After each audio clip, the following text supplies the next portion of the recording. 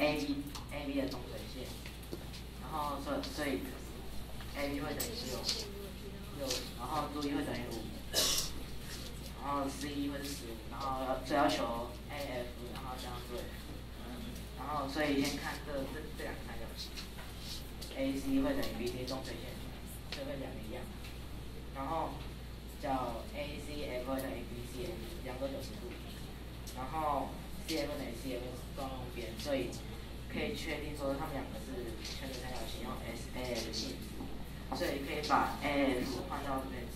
，BF 这边，所以这样连成就是九十度，然后这边往下画，因为三个移过来这边，然后十五又往下移，所以这样变成一个直角三角形，所以这是十五在这边，这边是五加三八，要求都 B，然后所以就八的平方加上十五平方，所以就可以求出来